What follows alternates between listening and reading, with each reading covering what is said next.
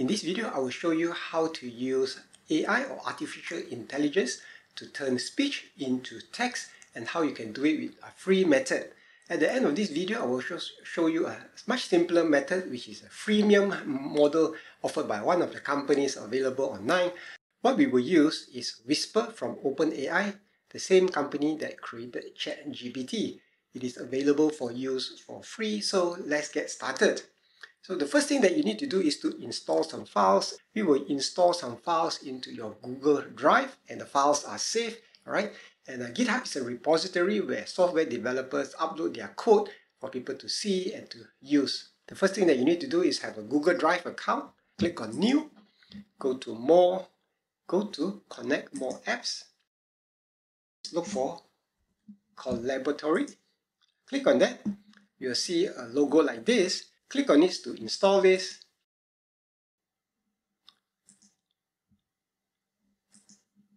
Click on yes and sign into Google Colaboratory. Click on continue and you are ready to go. It will take a few moments for Google to install this and it is done. Just click on OK and done and you can close this screen. So next, what you want to do is click on New go to More, go to Google Colaboratory. Next, we're going to insert some code. Basically, you are just copy and pasting three lines of code into Colaboratory. This is the first line, which is pip install github something something. Put it into this line. Just click on this start button to get it started. It will take about a minute or two to install this.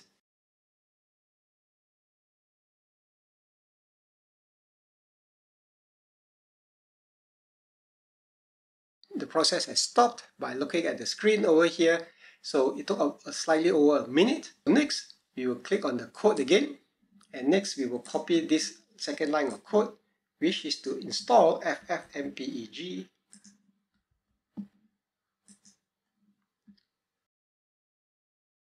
So this took just a few seconds, but it depends on the time that you use it. If there's a lot of people using Colaboratory, it might be slower. Next, we will rename this. And next, click on Runtime and change runtime type. Change it to GPU. Just click on Save. Next, you're going to open up this folder to upload your file. Now, I suggest that you use your audio files that has been cleaned up as much as possible.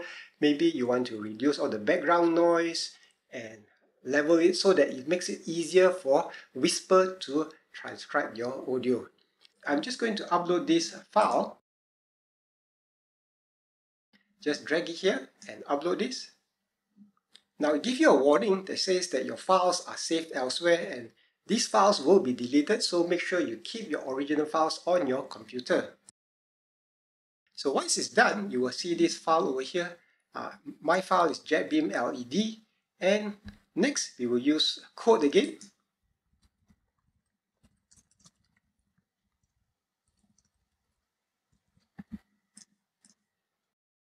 Whisper is now uh, translating it.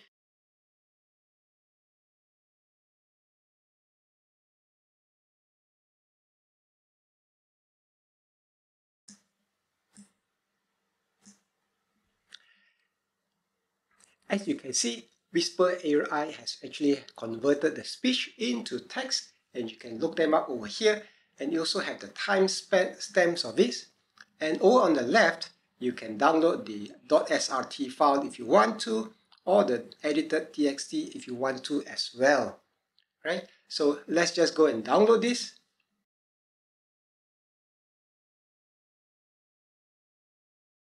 This is English and save it so this is the full transcription of the file in English. Whisper AI can also do this into different languages. Let's go to hit code again. We will copy this line again and paste it here. And Whisper AI will translate this into Malay. If you download this, it will be in the Malay language. Now, when I use this code with uh, Google Collaborator, there are some hiccups along the way. Sometimes the code doesn't run properly. I'm not sure why, but when I reinstall the code again, copying exact uh, lines of code that I've given at the links in the description, the code works. You have to be careful about that. Now, if you don't do that much transcription or transcribing, then perhaps this other website, which also uses the Whisper code to do the speech to text, might be a better option for you. The site is called TurboScribe, so just look for turboscribe.ai and it allows you to three transcription free per month up to half an hour long for each transcription.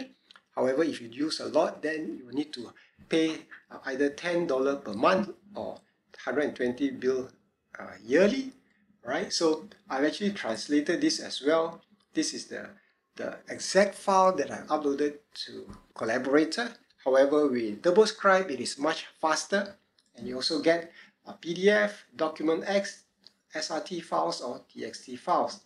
Now I can also translate it to another language so let's try and translate this